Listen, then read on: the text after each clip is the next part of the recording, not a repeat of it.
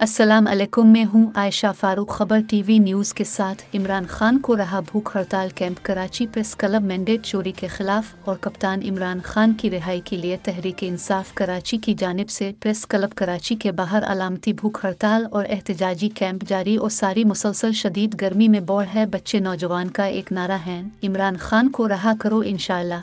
हमारे लीडर इमरान खान और बेगुनाह कैदियों के खिलाफ ये जिदोजहद जारी रहेंगे। मजीद रहनुमाओं ने किया कहा, हम आपको सुनवाते हैं।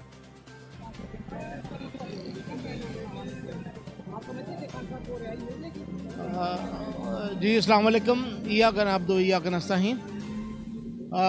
मैं ये समझता हूँ इन ताला रिहाई ज़रूर मिलेगी, मगर वो उन्होंने रिहा करना है, मगर जलील हो के रिहा करना है उन्होंने।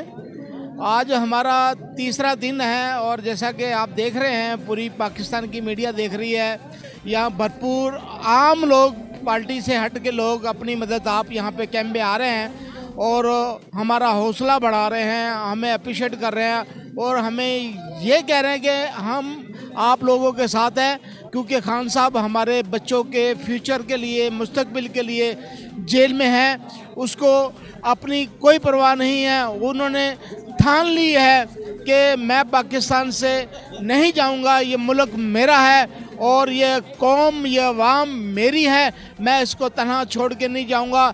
जैसा कि सबका एतवार में देखा गया है कि दू, दूसरी जमातों के लीडरान थोड़ी सी मुसीबत पड़ी और वो छोड़ के भाग गए एग्रीमेंट करके भाग गए। मुल्क को उनके रहमो करम पे छोड़ गया। तो मैं सदके जाऊँ अपने मुर्शद के उन्होंने साबित कदम है और उसके साथ उसकी कौम भी उसके साबित कदम है। आठ फरवरी को जो इलेक्शन हुए हैं उन्होंने साबित कर दिया। इन इन दो तहाई नहीं, तीन तहाई अक्सरियत से उन्होंने वोट डाल के और जितवाया। मगर फार्म फोर्टी फाइव को मुस्तरद करते हुए फार्म फोर्टी सेवन की जो पैदावार है, जो सत्रह सीटों का वज़ीर अजम और सोलह सीटों की वज़ीर अला है